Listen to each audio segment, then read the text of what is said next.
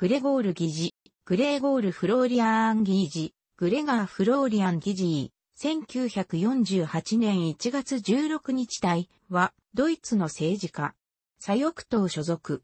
1989年に、東ドイツ、ドイツ民主共和国の支配政党であった、ドイツ社会主統一党が改組して結成された民主社会党、PDS 初代議長、党首に就任した。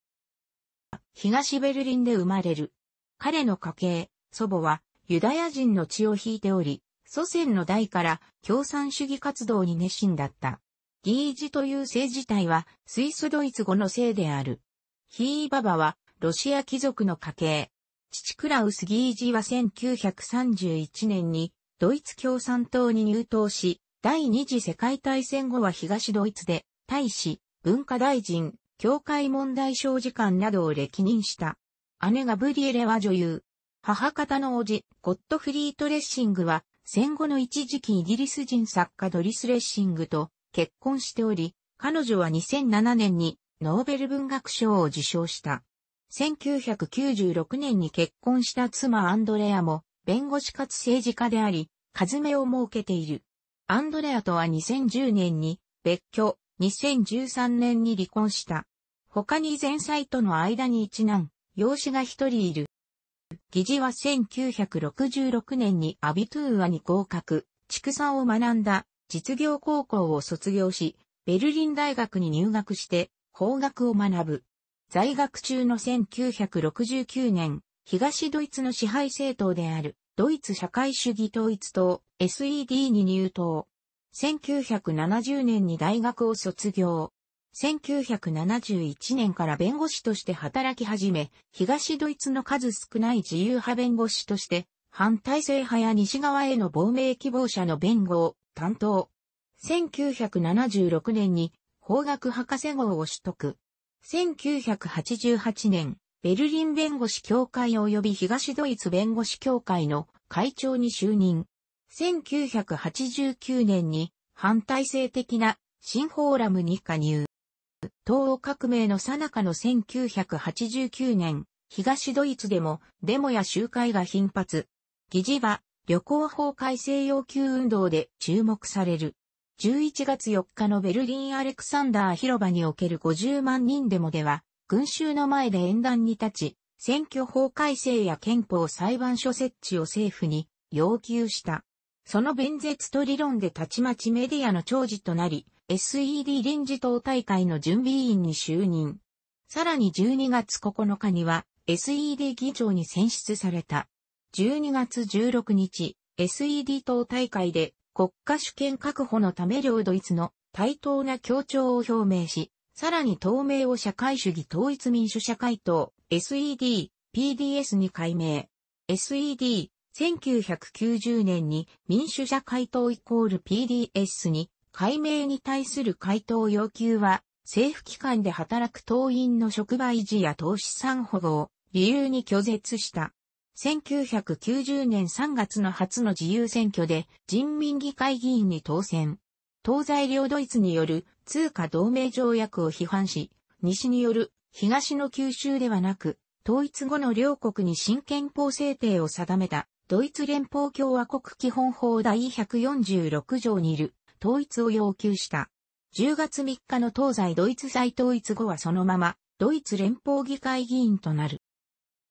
1993年1月31日まで PDS 党首を務めたが、彼が旧東ドイツの情報機関、シュタージ、国家保安省の非公式協力者、イムとして働いていたという疑惑が取り沙汰され、口述、1997年には党執行委員から離れた。2000年には、党議員団代表から退き、翌2001年のベルリン市議会選挙に出馬して、当選、2002年1月に連邦議会議員を辞職。PDS が躍進した結果成立したドイツ、社会民主党、SPD のクラウス・ボーベライト市長を主犯とすると、SPD-PDS 連立内閣に2001年1月17日から経済、労働、婦人担当参事、大臣として書く。しかし公務で使った旅客機のマイレージサービスを使用したとして批判され、2002年7月にすべての公務を辞職して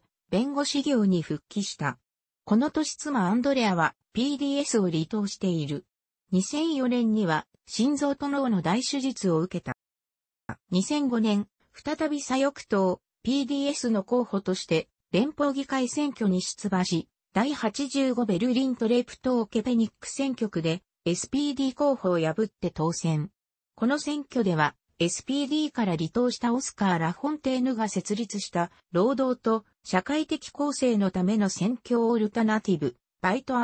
ソジーイール、ジェレクティブキット、大ワロオルターナティブ、ワスグと左翼党、PDS が政党連合を組んで共闘し、得票率8.7%で、連立与党の同盟90、緑の党を抜いて、第4党に躍進し、54議席を獲得した。12月、議事は PDS 所属のままはすぐに加入。やはり逆に左翼党、PDS にも二重加入したらフォンテーヌと共に議員団団長を務める。2007年6月16日に、両派は正式に合一して左翼党となった。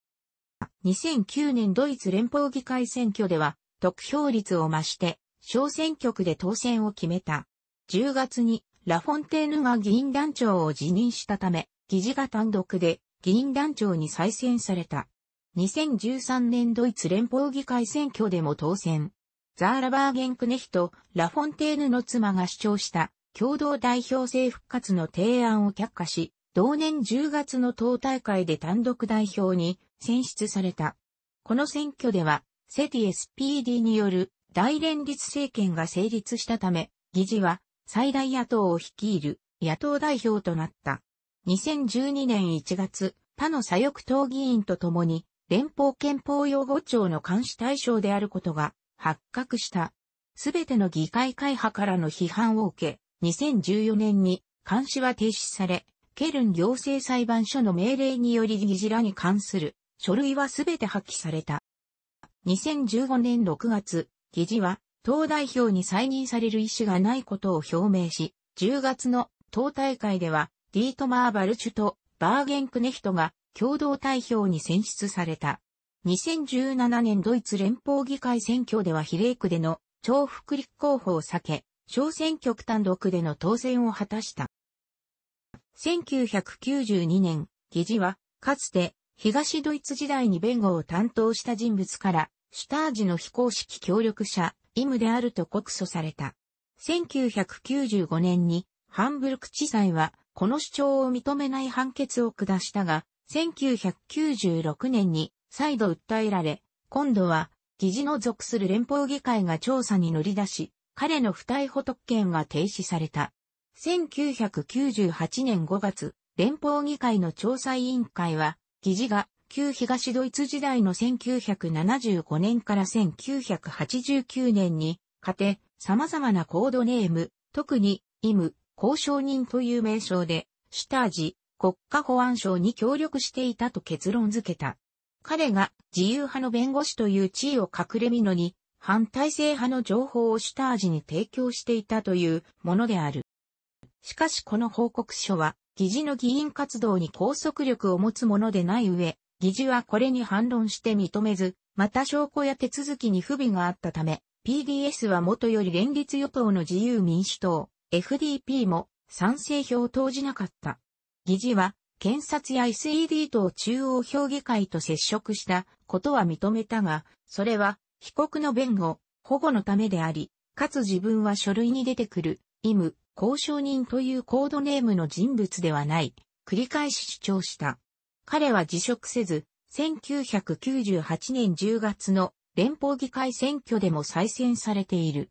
1998年、ハンブルク地裁は、デア・シュピーゲル氏に対し、議事が、シュタージのために働き、イム、交渉人というコードネームを持っていたとそれ以上、報じることを禁止した。その理由として、同志側がそのことを証明できなかったことを挙げた。